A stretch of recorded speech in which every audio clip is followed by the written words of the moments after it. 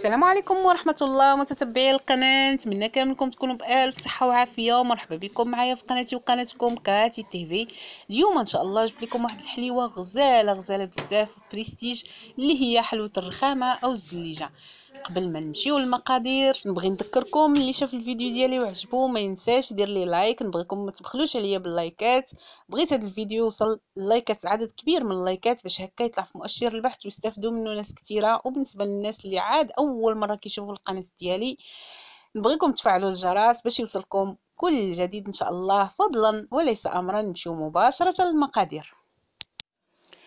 بالنسبة لمقادير هاد الحليوة كيف قلت لكم هما ساهلين وبساط ما كتحتاجش الفران كتحتاج غير الثلاجه آه محتاجة هنايا واحد كيلو ديال الكاوكاو أو الفول السوداني كيف كيسميوه بعض الدول.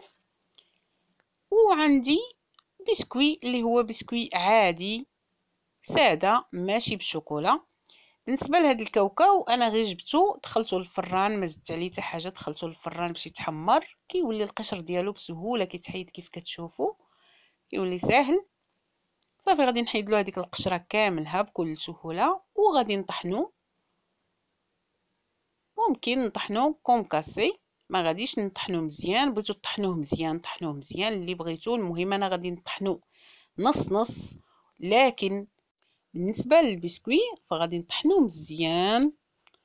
هكا يولي بودرة. أه ومن بعد غادي نخلطهم كيف كتشوفوا ها هما أنا طحنتهم من بعد ما طحنتهم كيف كتشوفوا الفول السوداني أو كاوكاو. أنا مهرمشاه يعني نص نص. لكن أه البسكوي ها هو مطحون مزيان. غادي نمزجهم مع بعضياتهم.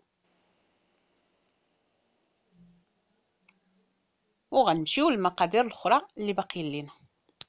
فبالإضافة طبعا لهذا المزيج أنا محتاجة كذلك آه شوكولا أبيض وشوكولا أسود. يعني محتاجة حوالي تقريبا 250 غرام في كل نوع. محتاجة كذلك واحد المعلقة كبيرة ديال الكاكاو وعندي فانيليا سائلة كذلك العسل. أو ممكن تبدلوه بالكريم كراميل. أول حاجة غادي نبدأ نمزج الخليط.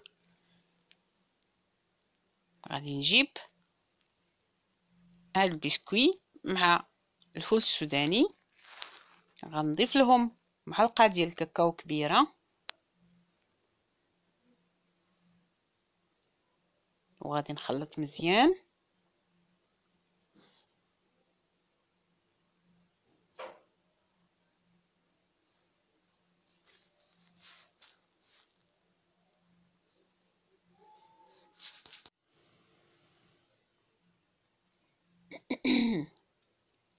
بحال هاد الشكل.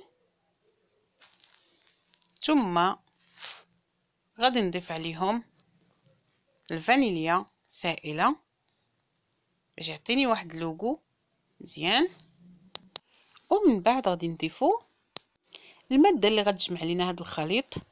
كيف قلت لكم ممكن تستعملوا العسل ممكن تستعملوا كريم كراميل. أنا بالنسبة لي استعملتهم بجوج. وإن شاء الله بإذن الله كنوعدكم غادي نصور لكم فيديو خاص بالكريم كراميل فهو سهل جدا ومكوناته بسيطة وغتستعملوه في مختلف الحلويات. إيه إن شاء الله بإذن الله غيكون هناك فيديو مخصص للكريم كراميل. صافي وغادي نجمعوا هذاك الخليط غادي نعجنوه به حتى يولي عندنا بحال هذا الشكل. يعني متماسك مزيان.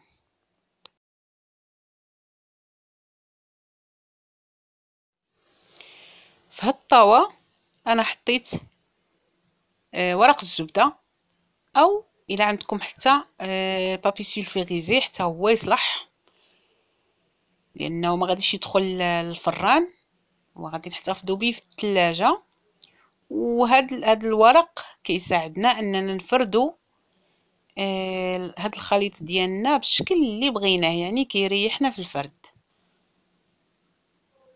صافي غادي نحطو هذاك الخليط في هذاك الورق. وغنحاولوا نقادوه هكا بيدينا على حساب الشكل ديال هذاك القالب اللي حطيناه فيه. أنا بالنسبة لي هنا حطيته في الطاوة ديال الفران العادية اللي هي مستطيلة.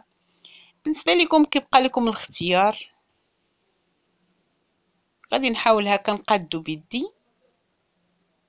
ومن بعد باش غادي نسويه مزيان من الجناب وحتى من السطح ديالو يكون متساوي غادي نستعمل المدلك. هكا كيسهل عليا المأمورية.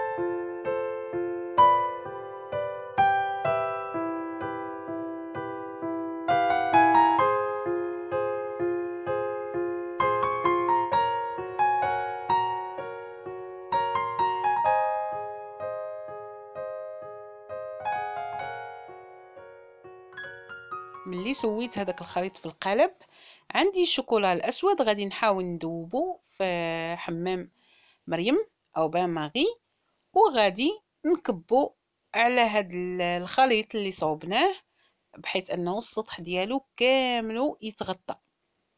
تكون واحد الطبقة واضحة وباينة يعني غليظة شوية سميكة ديال الشوكولا. فوق هذاك السطح مغطياه كامل وغادي ندخلوه للثلاجه حتى يبرد مزيان.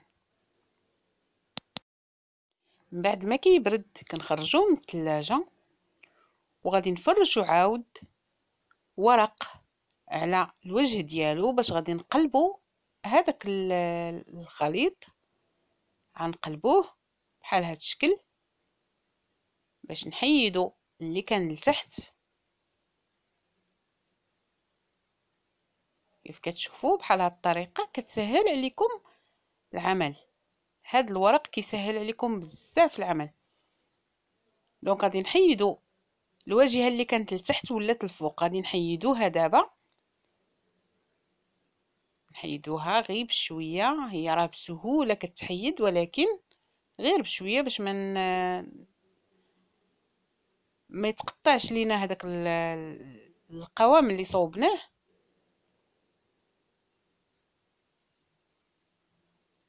كتشوفوا غير بشوية حتى نحيدوه كامل.